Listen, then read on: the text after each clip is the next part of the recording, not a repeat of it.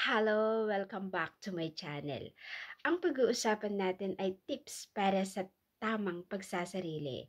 Alam naman natin na ang pagsasarili ay hindi masama sa kalusugan kung ginagawa lang ito ng tama. Huwag lang sobra upang sa ganoon ay uh, hindi po magdudulot ng masama sa ating kalusugan.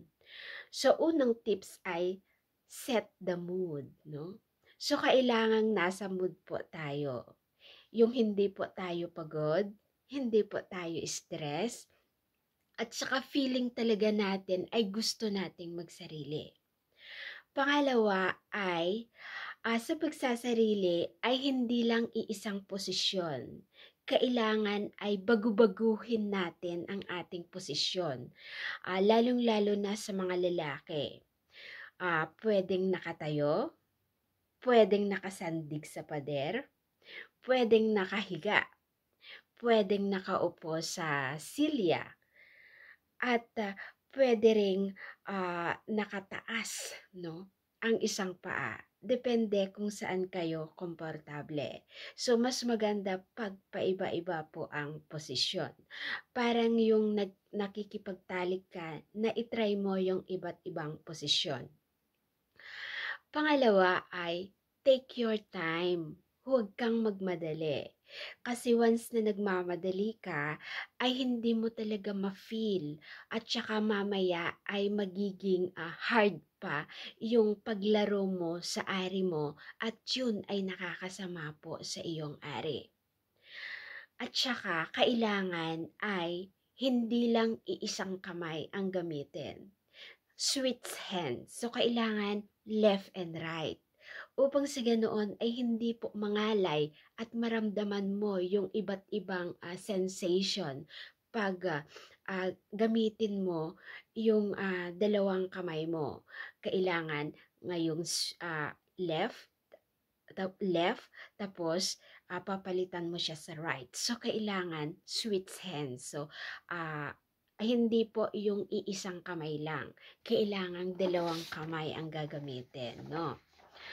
So, sumunod ay kailangan igalaw mo kasi yung katawan mo, no? Kailangan igalaw mo yung hips mo, no? Para maramdaman mo yung pleasure, di ba? So, kailangan gawin mong sir yung circulation na circulation na position, tapos yung back and forth, at saka medyo i-increase mo yung speed mo, di ba? Yun at itry mo yung different stroke, di ba?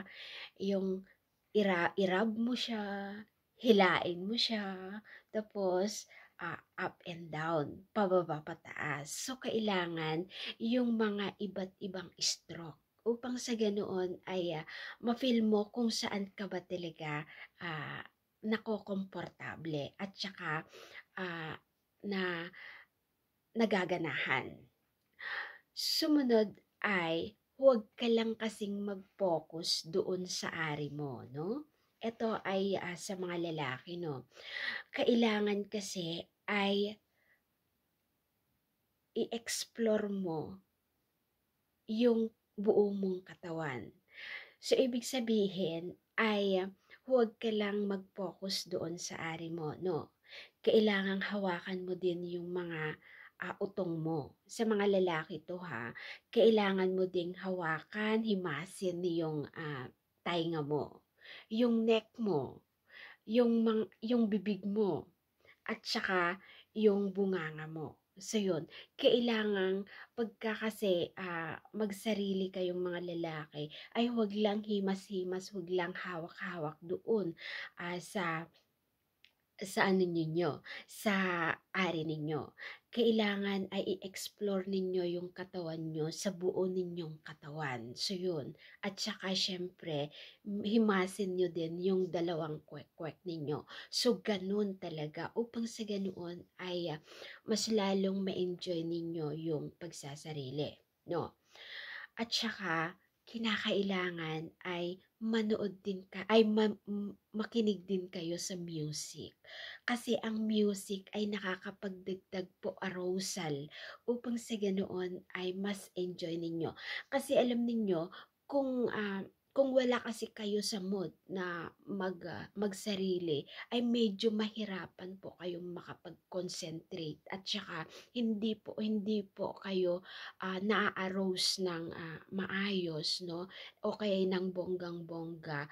Mas lalo kayong ma-stress lalong-lalo na kung mahirapan po kayong, ah, magpalabas. So yun, ang ang ang kalalabasan niyon ay, ah, ma-stress kayo at mas lalo kayong, ah, hard 'no? At saka matagalan po kayo na magsarili kung, ah, wala kayo sa mood at kung hindi niyo kasi ginagawa ng tama. Kasi 'pag hindi niyo ginagawa ng tama ang pagsasarili ay masasaktan po ninyo yung ari ninyo.